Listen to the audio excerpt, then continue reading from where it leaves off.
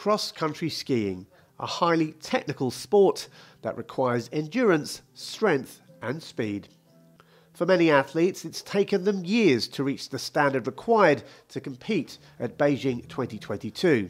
For Jose Cabeça, it's taken him less than two. Two years in which he's gone from skiing novice to Olympic athlete. It's like uh, I have a, a, good training capacity because of triathlon, uh, mm. the sport uh, I came from. I think it was the I had the right mindset and uh, I work really hard. Cross-country skiing events have been part of every Winter Olympics since the first Games back in 1924.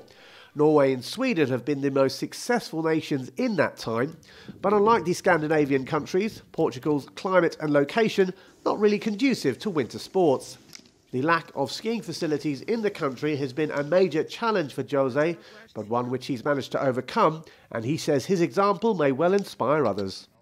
I hope so, and uh, not not just about to take the the um, the winter sport, but uh, to teach everyone it's possible to make changes um, in your career, even if you are later uh, in, in your age. Because I'm 25 years old, of course, I'm young, but uh, nobody starts a new sport to try to go to the Olympics at uh, 23, almost 24 when I started. Now, the Winter Olympics certainly has a rich tradition of athletes from less traditional nations taking part. The Jamaican bobsleigh team for the 1988 Calgary Games testament to that. And while the novelty of a Portuguese cross-country skier may well turn some heads, Jose Cabeça's journey from skiing novice to Winter Olympian may well have a longer lasting legacy in inspiring those back home to begin their own Olympic dream.